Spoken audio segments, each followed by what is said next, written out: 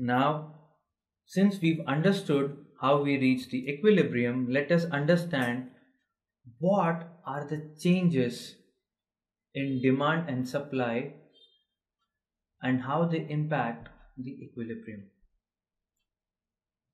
So, to understand this, we'll take separate cases. Cases where only demand increases, case where only demand decreases, case where only supply increases, and finally a case where only supply decreases. And then finally, after considering these four cases, we'll take a case where both demand and supply are changing. But let us first take these cases individually. So the first case is increase in demand. So our assumptions here are the demand increases, the supply remains constant. Let us see what happens.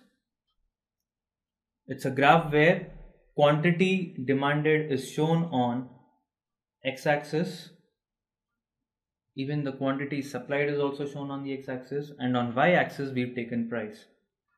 So DD is the original demand curve here and S is the original supply curve. This is the demand curve.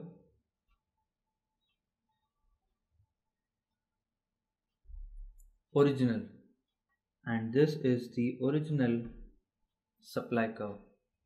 Now this is the point where they meet. So this gives us the equilibrium. Now we have the equilibrium. But in our assumption, we have seen that the demand increases. Now when the quantity demanded increases, what happens is the demand curve shifts outward or upward. So we'll get a new demand curve which I've shown with the green pen. The new demand curve will get formed which will be higher than the original demand curve. Now what will happen? Where does the demand curve cut the supply curve? We can see that now the demand curve is cutting the supply curve at point E1. This forms our new equilibrium in terms of price and quantity. So now the equilibrium quantity is Q1 and the equilibrium price is P1. So we can say that if demand increases but supply remains constant, what will happen is prices tend to go up. The equilibrium price rises.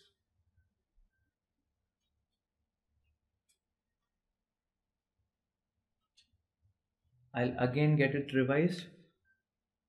When the demand increases but supply remains constant, what will happen is the price will rise the increase in demand will pull the price up. This is generally what we observe in the market.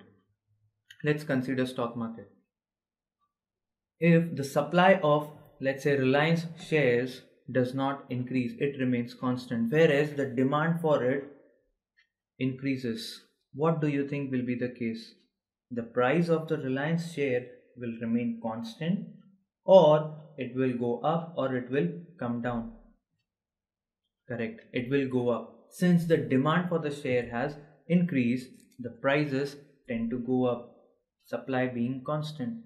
So, the first case where only the demand increases, we see that the price also increases. Next case, where only the demand is decreasing whereas the supply is remaining constant. Again, we see that this is the original demand curve and this is the original supply curve. We see that they are meeting at point E.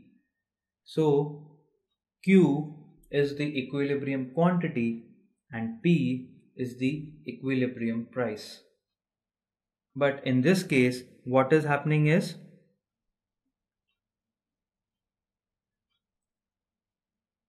the demand is decreasing. So what will happen? The demand curve will shift inwards or leftwards. So a new demand curve will get formed. It will look like this. I have shown the new demand curve with green ink. So now what is happening? Where is the new demand curve and the supply curve meeting? Are we getting a new equilibrium? Is the price going up or going down? Let's see. Now the new demand curve, that is the curve shown in the green, is meeting the supply curve at point E1. At point E1. Now our new equilibrium quantity is Q1 and the new equilibrium price is P1. So what has happened? The equilibrium price has come down from P to P1. So what happens when demand decreases? When demand decreases and supply remains constant, there are more goods in the market. So what will happen? It will be difficult for the sellers to sell off all the goods. So what they'll do? They'll reduce the price and we see that the equilibrium price is coming down. So when the demand decreases, supply remains constant, the equilibrium price comes down, it decreases. Next case where only the supply is increasing, demand remains constant. Let's see what happens.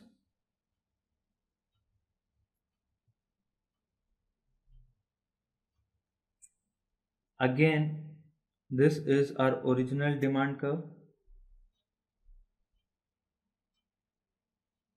and this is the original supply curve. Now they both are meeting at the point E. So Q is the equilibrium quantity and P is the equilibrium price. Now what is happening? The quantity supply is increasing. That is, it will shift outwards and a new curve will be formed which will be S1 S1. So let me shade this curve in green. Now I've given you the new supply curve which is shifting rightwards. It is outside the original supply curve. Now what is happening? Are we getting a new equilibrium point? Is the price going up or the price going down? Let's see. The new supply curve S1 is meeting the demand curve at a new point which is E1. At point E1, they both are intersecting each other. So we can say that E1 is the new equilibrium point.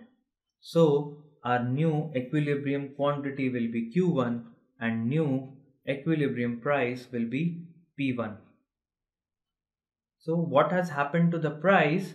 We can see that the price has come down. It has come down from P to P1. So let me revise.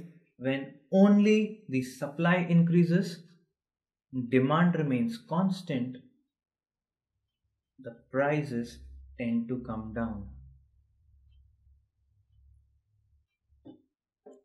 Final case decrease in supply, demand remaining constant.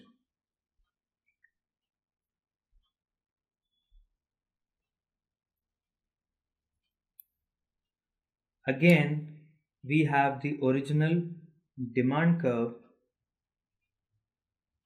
and we have the original supply curve.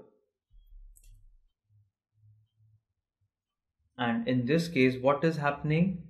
the supply is decreasing that is it will shift inwards it will shift to the left of the original supply curve and the new supply curve will be formed I'll draw it with the green ink so S1 is the new supply curve now what is happening is the equilibrium point changing? Is the equilibrium quantity changing? Is the equilibrium price changing? Let's see. We can see that the demand curve is intersecting the new supply curve S1 at point E1. Earlier they were meeting at point E, so the equilibrium point was Q and P The equilibrium price was P, equilibrium quantity was Q. Now they are meeting at point E1.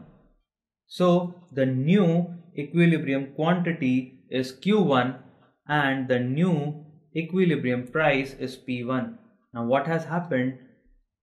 The price has gone up. It has shot from P to P1. What does this mean? This means when supply decreases, demand remaining the same. The demand for the goods is same. But what has happened is in the market, the supply of the goods has decreased. So what will happen is people will be ready to pay a higher price for the goods. They want the goods, but the goods are in short supply. So they to get the goods they'll be ready to pay a higher price and thus the equilibrium price will go up. So we have studied the cases individually. The first case was where the supply was constant but the demand was increasing. We saw in this case the price went up. In the second case the supply was constant but the demand decreased. We saw that the price came down the third case where the demand was constant but supply increased. We saw in this case also the price came down. And finally in the fourth case where supply decreased, demand remaining constant, what happened to the price? The equilibrium price went up.